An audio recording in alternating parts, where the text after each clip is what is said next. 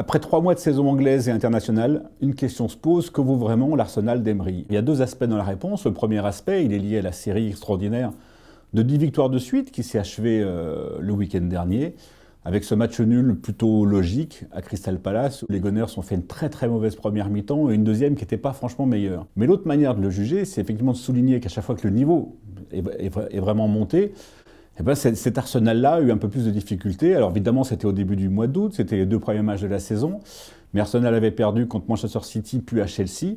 Et au moment où les Gunners vont défier Liverpool samedi après-midi à l'Emirates, c'est évidemment une question qui va rester en arrière-plan. Évidemment, on a envie de savoir s'il reste quelque chose d'Arsène Wenger dans ce jeu d'Arsenal et on a envie un peu de, de, quêter la griffe de Emery. En fait, il y a un petit peu de tout.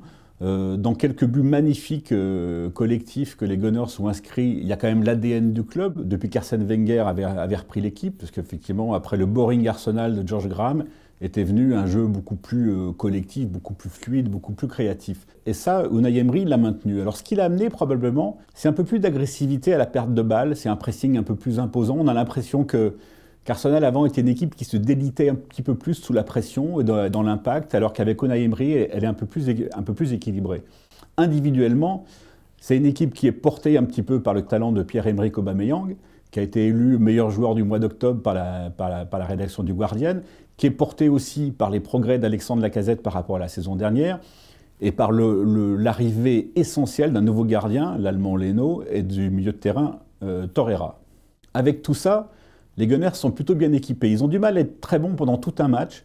Et on sent qu'Emery euh, est un peu plus exigeant de ça. On sent qu'il aimerait voir son équipe euh, adopter ses principes un peu plus rapidement. Mais justement, la manière même dont Arsenal laisse supposer qu'il a vraiment une, une marge de progression encore, que Torreira va encore euh, être plus important au milieu, que que, que Lacazette et Aubameyang vont encore mieux jouer ensemble, alors que Mkhitaryan, pour l'instant, n'est pas du tout rentré dans, le champ, alors qu'Ozil a fait quelques matchs formidables, mais qui continue de disparaître comme d'habitude.